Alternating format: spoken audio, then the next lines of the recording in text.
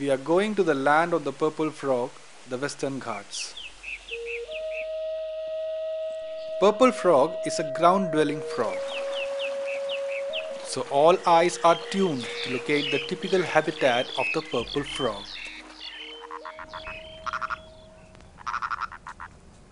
Yes, we finally had the purple frog.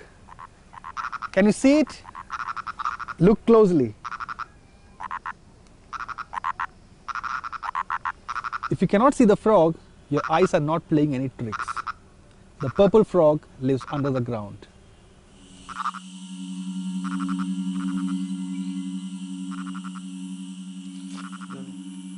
When season of love approaches, it pours out its love calls while still underground.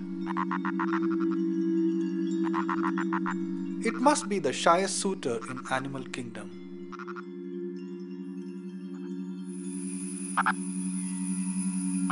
It takes some time for the shy suitor to pick up the courage to come out into the open.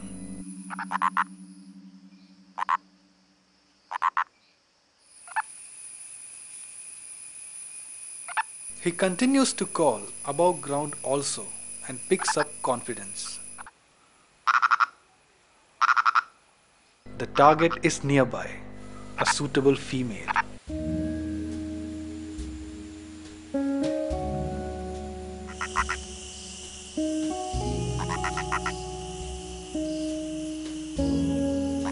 Like in all good romantic stories, here is the happy ending to all the calling effort.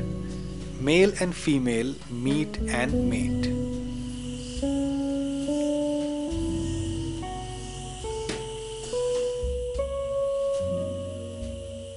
Honeymoon lasts for only about two weeks.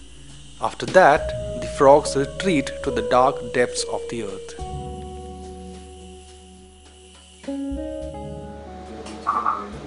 This unique and fascinating study of purple frog was done as part of a PhD thesis of Ashish Thomas from Systematics Lab, Delhi University. Researchers from University of Delhi, Ashish Thomas, Robin Suyesh and S.D. Biju, together with Mark Bee from University of Minnesota, published the acoustic communication of the most secretive underground frog, Nasikabatrachus sahyadrensis, in the journal PLOS ONE.